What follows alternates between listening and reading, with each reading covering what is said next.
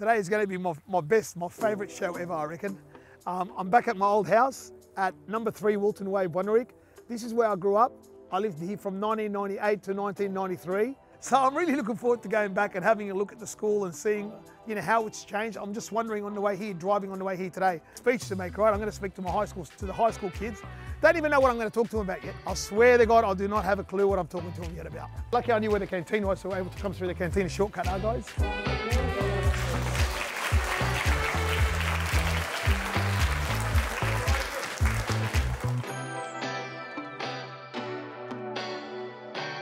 I think I have officially found the troublemakers of the school. Hundred percent. There's something special about the school. There's something special in the water here. Because I know so many successful people that came to the school.